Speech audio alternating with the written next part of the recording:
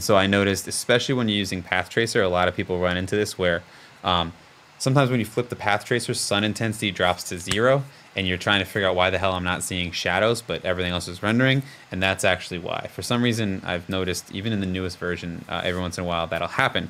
So you want to make you want to make sure you have your sun intensity on first of all. If I drop it to zero, you'll see what happens.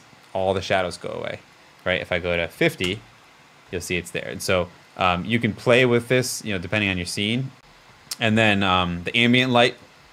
One thing you'll notice too with with Twinmotion is um, it tends to have some some dark it tends to have some dark corners and ambient lights dark shadows dark dark areas that you need to brighten up so it's okay to go a little overboard on the ambient lighting and the shadow reduction um, because you do tend to have really dark corners in Twinmotion um, it's just the nature of what it is it's what I mean, in my humble opinion, that's kind of how it's how it's structured.